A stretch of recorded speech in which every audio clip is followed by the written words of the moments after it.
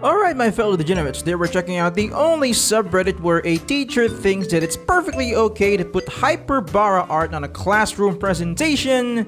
It's r slash facepalm. More hyperbara art, damn it! If you're gonna ask me why I'm suddenly covering this subreddit, it's because I can't keep spamming furry IRL. I gotta give more time for that place to accumulate more memes that I can react to. And the fact that constantly making videos on that particular subreddit is starting to leave a bad taste in my mouth. And it tastes like stale bread, self-loathing, and regret. So here we are now. Let's dive right in. Review anabolic steroids, chemically similar to testosterone, the male naughty hormone, accelerates muscle growth, anabolic effects.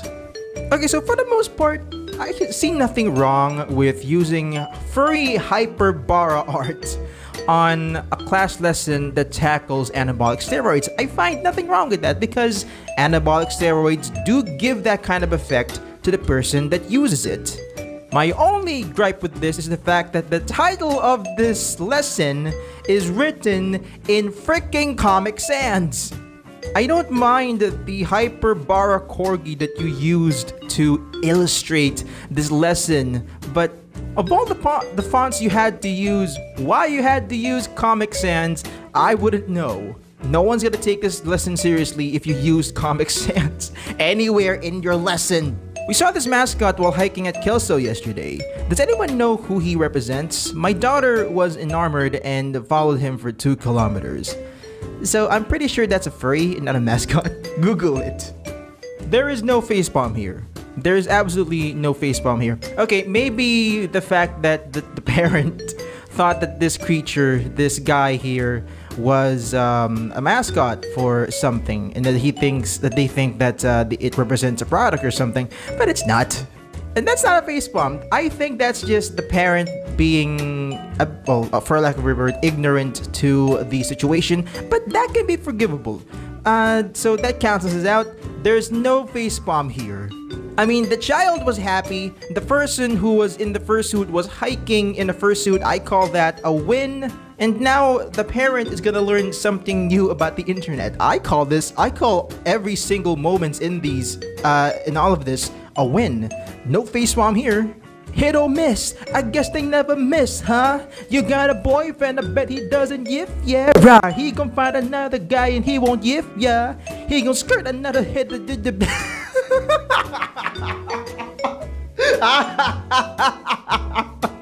I guess the facepalm here is the fact that it made me sing. It's this constant curse that I have to live with. Every time I do these videos and every time I see a post where it obligates me to sing, I have to f***ing sing it. And I hate it. I hate it so much. I hate the fact that I know how this entire thing flows. Like how this entire song is just just welded into my mind already. And I hate that. And I hate the fact that I can't get it out of my head. People with animal names in their names are just furries. Agree. Wait, no. Ah, ah, Blue Wolf? Blue Wolf? We got you. We got your ass in 4K. You can't get out of this now. We got you. You're part of us now, okay? You are now a furry. You may collect your bad dragon paraphernalia at the door. And in other news, Kenyan official says homosexual lions learned it from copying gay tourists.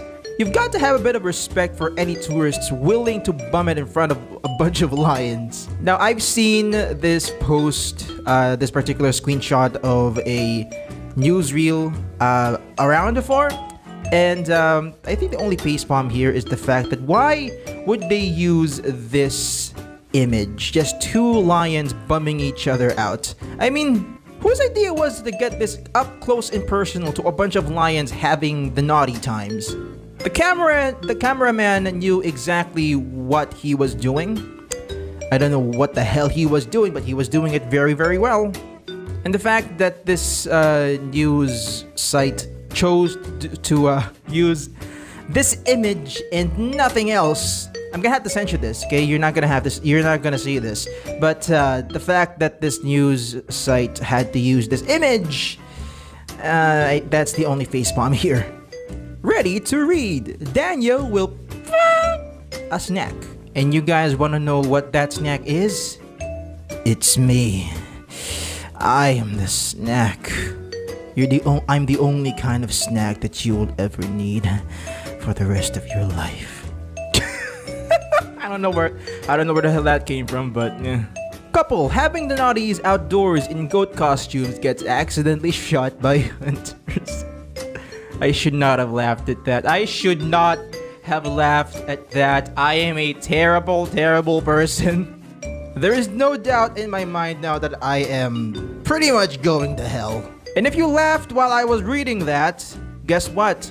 You're going to hell with me. I hope you bought suntan lotion. That's that's because that's the only thing that you're gonna be needing while we're down there. Stop making fun of furries. I'm also 100% smarter than you. Oh, really? How many chromosomes do you have then? More than you. Oh my.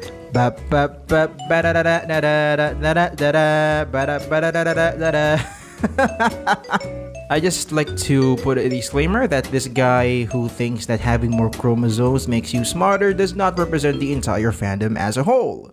His opinion, or whatever the hell you can call this, is by his own thinking, by his own uh, judgment. He does not represent all of us. Please don't think that we all think like this. India Reynolds goes naked to promote veganism. PETA, read brother, read! You can't convert people into vegans by showing naked women. PETA, screaming, No! you guys remember that um, one art way back last year where they showed um, an entire headless human being roasted and ready for Thanksgiving? And they put it, uh, put a caption that says, "What if you're the one who's getting stuff for Thanksgiving?" And ju- the internet just ate that up. Just left and right, people are just just showing how horny they are, or how it would be amazing to eat a human being roasted to golden brown perfection. And that is all in the name of trolling PETA. Sometimes I, the internet just does amazing stuff like that, and it gives me hope that the internet isn't as bad as we think it is. This one is gonna hurt the machos out there. Rule 6 Political topic. Complaining about having to breathe through a mask is admitting that furries wearing fursuits are stronger than you. Think about it. I have always loved this kind of argument. We have like boomers and Karens out there complaining that they can't breathe through a tiny little piece of cloth that's trapped in their face. Ugh.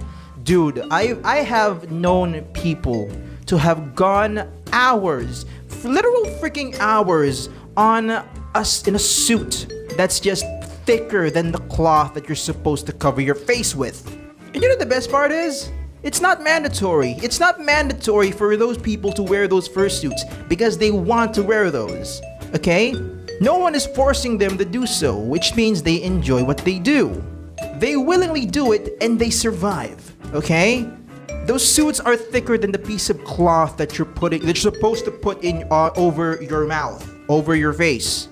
If they can breathe through layers of cloth, you can breathe through just one layer of cloth that's just isolated on your face. You can do that.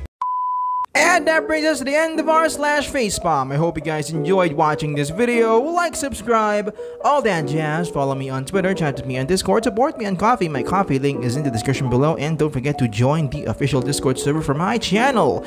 And don't forget to check me out on TikTok. The links will be provided for you in the description below. This has been your fellow degenerates, CookBoss88, and I'll be seeing you guys in the next video. Stay foxy. Much love.